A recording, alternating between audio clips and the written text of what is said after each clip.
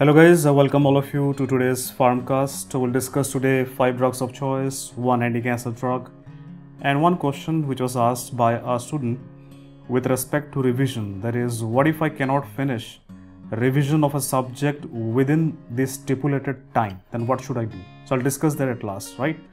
So let's begin with the drugs of choice, guys. The first disorder for today is called as HIT or heparin induced thrombocytopenia. Now, a little bit about HIT, guys, is an important topic. See, the cause of HIT is unfractionated heparin more than LMWH or low molecular weight heparin. UFH is a more common cause, right? And the thrombosis that is seen here, uh, it is more venous as compared to arterial. Plus, uh, females are more prone to HIT as compared to males. Now, coming to the drug of choice, guys, here the parenteral direct thrombin inhibitors are more preferred and the DTI of choice is argatroban, right? Though we can use bivalirudin, decitabine, etc. as well. Other alternatives are drugs like fondaparinux can also be used, right? But remember, LMWH can never be used because it's, it, it is itself a cause of HIT. Last point here is remember warfarin. Warfarin is never used for treatment of HIT it is contraindicated rather because it can worsen. Because remember right what warfarin does is it takes 5 days to produce anticoagulant effect and within these 5 days it can decrease protein C and S and rather cause a state where thrombosis can increase right? So that is why it is contraindicated. Moving on to the second disorder for today it is toxicity of a drug and the drug is same drug we discussed heparin. So heparin toxicity guys. Remember it's a very common one and i am pretty sure all of you know the answer that heparin toxicity drug of choice is protamine sulfate. Now, one more thing you need to understand here that uh, if I'm using protamine sulfate, it can be toxicity of either unfractionated heparin or low molecular weight heparin. Now, in this case, remember guys, protamine sulfate is much much more active against unfractionated heparin as compared to low molecular weight heparin and it is not at all active against fondaparinux. So never use protamine sulfate against fondaparinux. You can use against unfractionated. You can also use against LMWH, but it would be much much more active against UFH or unfractionated heparin. Now guys, moving on to the third disorder for today, it is an infection, hepatitis B. So guys, think what is the drug of choice for hepatitis B? Is it tenofovir or is it entecavir? What do you think? Choose one option. Put your money on one option. As hepatitis B, remember the drug of choice, the best drug is tenofovir because it is also active against lamivudine resistant strains. Whereas entecavir, though it is the most potent drug against hepatitis B, it is not drug of choice because entecavir usually patients they develop resistance uh, in case of lamivudine resistant strains. One more aspect of hepatitis B is what if there is a super infection of D? If it is a case of B, hepatitis B with D, now remember, there is only one drug in this world that is active against hepatitis D, and that is interferon alpha. So if it is a case of hepatitis B with D, then we go for interferon alpha, right? That, that becomes our drug of choice. Now moving on to hepatitis C. Guys, hepatitis C you, you know right nowadays uh, we have moved on from interferon alpha and ribavirin and nowadays we prefer the direct acting antivirals right? We have three classes of them i've discussed in detail in lecture.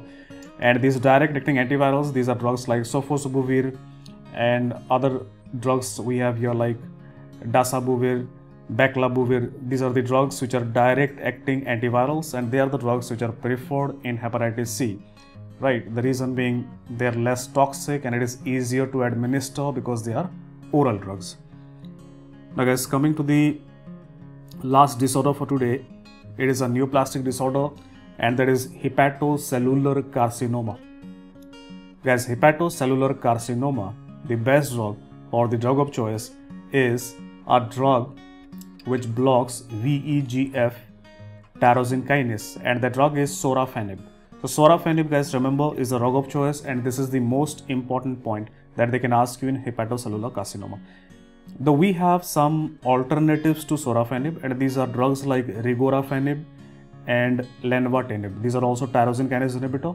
And we have a new drug that is active against hepatocellular carcinoma, that is nivolumab. Nivolumab, it is a monoclonal antibody, and uh, it is it can also be used in hepatocellular carcinoma. Nevertheless, the one point which is most important here, hepatocellular carcinoma, if they ask you, I think they will ask you what is the drug of choice. Your answer would be sorafenib. Now guys, we have reached to our second part of Pharmcast where I discuss one anti-cancer drug every day. Today's anti-cancer drug that I've chosen is irinotecan. So the first thing you need to understand how does it act. See, irinotecan is a topoisomerase 1 inhibitor, right? And you know what is topoisomerase is uh, responsible for. It removes the torsional stress in the DNA. So if I block it, DNA breaks down and DNA cannot replicate, which means irinotecan is specific for S phase.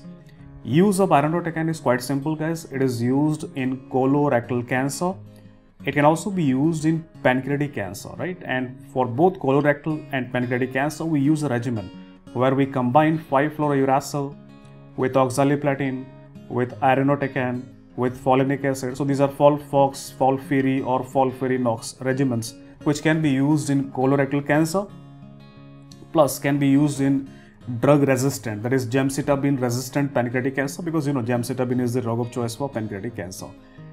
Uh, side effect of irinotecan guys, remember it causes diarrhea. And diarrhea that can be seen with irinotecan is treated with loperamide, opioid. Loperamide is used for treatment of diarrhea because the diarrhea is non-secretory. Non-secretory means an increased motility is the cause of diarrhea. Now coming at last to contraindication guys. Contraindication of irinotecan, it is a drug that is contraindicated in a disorder called as Crigler-Najjar syndrome. So why do you think is irinotecan contraindicated in Crigler-Najjar syndrome? The simple answer is irinotecan is a drug that is metabolized by glucuronidation and you know what happens in Crigler-Najjar syndrome? There is a problem with glucuronidation. So there would be an increased toxicity to irinotecan. Right guys, so we have reached the last part of Pharmcast where I discuss one of your concerns or questions and today a student had asked me yesterday, Sir, what if I cannot finish revision of a subject in stipulated time uh, should we just leave that part and move on with the routine and revise in the second revision?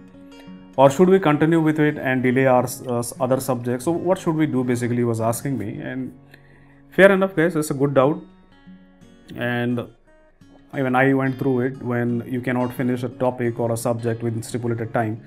So, you need to know one thing, guys when you make a plan or a timetable for revision, it should not be neck to neck. For example, I make a plan, it should not be like that. My plan ends exactly today and tomorrow is my exam. No, it should not be like that.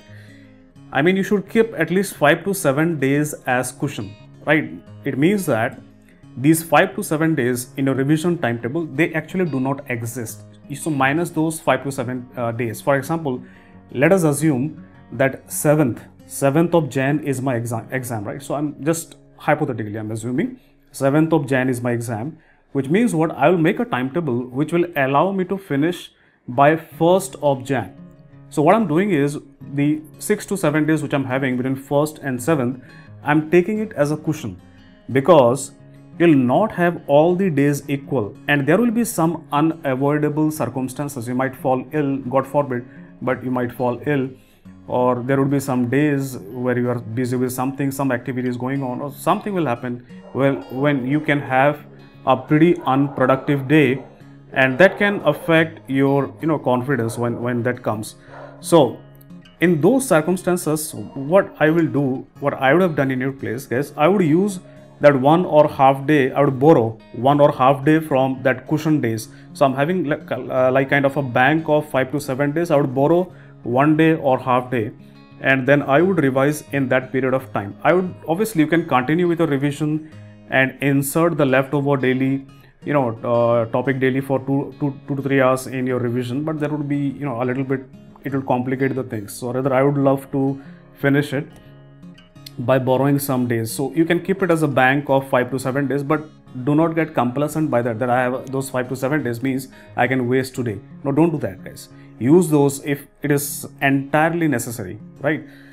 So guys don't get depressed if your revision is not ideal and you're not able to cover in time. It happens with everybody guys. Will anybody in this world will have, a, have one off day right? And we always uh, try to overdo ourselves while revising. We set the goals higher and that is not a bad thing because in this due process it overall increases our productivity uh, with respect to time right so believe in yourself guys and keep marching ahead. Don't get depressed by all such kind of things where you are having some bad days or an off day where your productivity is not matching up to your standard. Not a problem happens with everybody you are no different. Right guys so that's all for today guys. If you have any such kind of doubts or queries with related to your preparation you can always drop in the comment box and i'll be happy to incorporate your doubt in one of my next pharmcasts. So guys take care bye bye this was dr ranjan with you